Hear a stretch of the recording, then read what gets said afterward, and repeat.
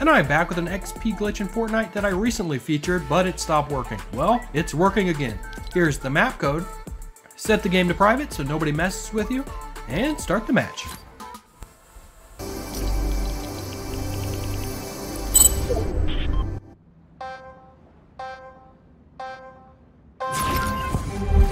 Once the game starts, we're going to do our best to avoid this support a creator post.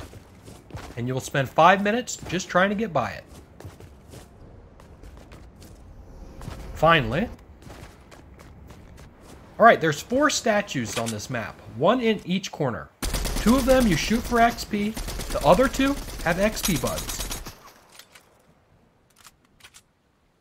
I'm using the MK7 for this, but go ahead and grab a different gun if you want to. The minigun should work well.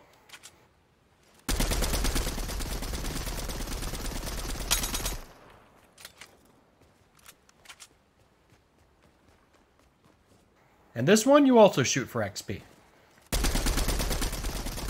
The amount of XP you will receive will vary. Depends on if your XP is supercharged or not, and if you've done any XP glitches that same day, and even if you did your daily challenges. They all affect how much XP you'll earn in creative.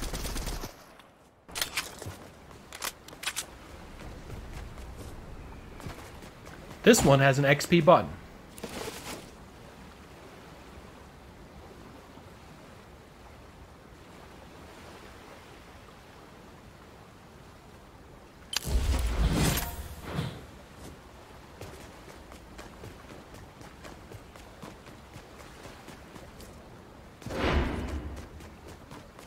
And this one also has a button.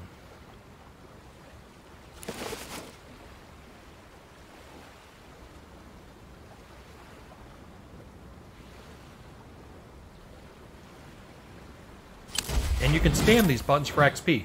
That means you can do it more than once.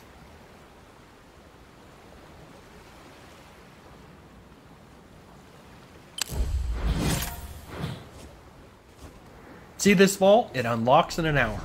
And I waited that hour, so you don't have to. Unfortunately, there's nothing good in there. No XP.